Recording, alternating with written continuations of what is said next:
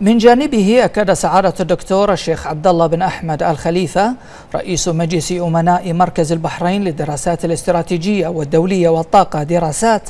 أكد أن ميثاق العمل الوطني يمثل وثيقة جامعة رسمتها رؤية ملك حكيم بشأن حاضر ومستقبل وطننا وقال الدكتور الشيخ عبد الله بن أحمد الخليفة في كلمته خلال افتتاح ندوة المواطنة في الميثاق الوطني بمنتدى أصيل الثقافي الدولي في دورته الأربعين والتي نظمها المنتدى بالتعاون مع مركز دراسات وبحضور نخبة من المسؤولين والأكاديميين والمفكرين من مملكتي البحرين والمغرب.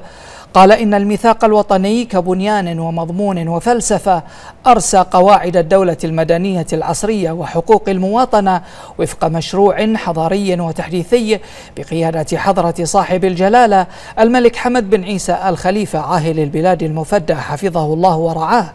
وجسد انطلاقة واعدة في مسيرة التحديث الشامل لمؤسسات الدولة وسلطاتها الدستورية. وأوضح رئيس مجلس أمناء مركز دراسات أن إقرار الميثاق بإجماع شعبي منقطع النظير وغير المسبوق شكل حدثا فاصلا ومحوريا في تاريخ مملكة البحرين والمنطقة حيث تضمن المقومات الأساسية للمجتمع وكفالة الحريات الشخصية والمشاركة الشعبية في الشؤون العامة وتحديد الأسس والمنطلقات الاقتصادية. وتابع الدكتور الشيخ عبد الله بن أحمد الخليفة قائلا الميثاق مشروع وطني ذاتي متكامل الأركان يلبي التطلعات الشعبية. تم بموجبه تعديل الدستور وإعلان المملكة الدستورية وإعادة الحياة النيابية والبلدية وفق أسس سليمة بالأخذ بنظام المجلسين في السلطة التشريعية. وجرى استكمال المؤسسات الدستورية وإطلاق الحريات العامة وتأسست الجمعيات السياسية ونشطت مؤسسات المجتمع المدني بمؤازرة تمكين وشراكة المرأة سواء بالمشاركة السياسية والرعاية, والرعاية الاجتماعية والأسرية أو تبوء أرفع المناصب في الداخل والخارج. وهناك سلسلة طويلة من الإصلاحات والنجاحات في مجالات الخدمات الأساسية وإطلاق المبادرات على مختلف المستويات موضحا أن الميثاق ساهم في نجاح مملكة البحرين في التغلب على تحديات عدة. نعتز في مركز البحرين للدراسات الاستراتيجية والدولية والطاقة دراسات بتنظيم ندوة خاصة بالتعاون مع مؤسسة منتدى أصيلة على هامش الدورة الأربعين لمنتدى أصيلة آه، الثقافي الدولي. هذه الندوة التي ستتناول موضوع المواطنة في ميثاق العمل الوطني بمملكة البحرين وكيف أرست آه، دعام الدولة المدنية العصرية واستعراض فلسفة ميثاق العمل الوطني في مملكة البحرين وكيف ساهم في دعم الحياة السياسية والاقتصادية والاجتماعية في المملكة.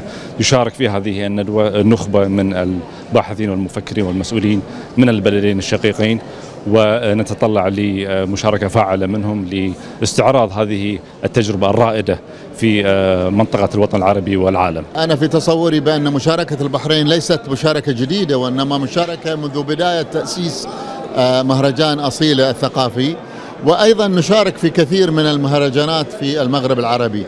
ونحن في اعتقادي بأن هذه المهرجانات الثقافية آه، تعكس اهتمام ويعني تقارب بين الشعوب العربية وفي تصوري أيضا بأن مهرجان أصيلة أصبح علامة بارزة في عالم الثقافة والإبداع. أعتقد أن الإشكاليات المرتبطة بالحقوق السياسية مرتبطة بالمواطنة أعتقد من المواضيع الجادة ومن المواضيع التي يمكن معالجتها بمقاربات متعددة بمقاربة سياسية بمقاربة حقوقية. ونعتقد أن اليوم آه، كان هناك آه، تدخلات أجابت عن هذه الإشكاليات المرتبطة بالحقوق السياسية وبحقوق المواطنة خصوصا وأن هناك مواضيع مرتبطة بالتحديات العالمية العالمية ومرتبطة كذلك بالعولمه وأنا أعتقد أن مثل هذه المنتديات التي تجمع ما بين الأشقاء البحرينيين والمغاربة هي آه، هي تعبر عن هذه العلاقات الاستراتيجية ما بين المملكتين.